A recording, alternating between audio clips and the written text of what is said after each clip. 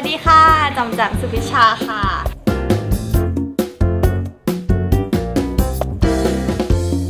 จำจำก็ได้รับเกียรติมาเป็นแขกรับเชิญในรายการ Game of Teen นะคะ เป็นรายการของวัยรุ่นที่จะให้ทุกคนมาแข่งเกมกัน ไม่รู้หรอกนะว่าคู่แข่งเนี่ยจะเป็นใคร แต่ว่าเรามั่นใจมากว่าเราจะชนะเขา ความสามารถเนี่ยมีไม่มีไม่รู้ แต่เรามีหน้าตาที่ดีค่ะ บอกแขกรับเชิญอีกคนหนึ่งไว้เลยนะตรงนี้นะว่า ต้องระวังให้ดีเพราะว่าจำจำเนี่ยสะกดคำว่าแพ้ไม่เป็น เออ แพ้สะกดไงนะสระเอเข้าสมเภาไม่ตีสะกดไม่เป็นจริงอะ ขอโทษนะคะ ติดตามชมกันได้ชัยชนะของจำแจมในรายการ Game of Teen ค่ะ ช่อง GMM 25 นะคะ